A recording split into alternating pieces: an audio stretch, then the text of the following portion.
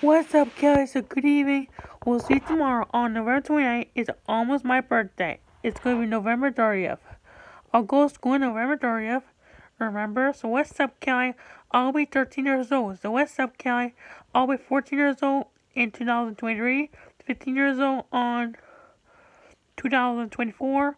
16 years old 2025. 17 years old in 2026. 17 years old on 2027, 2028. I'll be 17 years old. I can graduate from high school.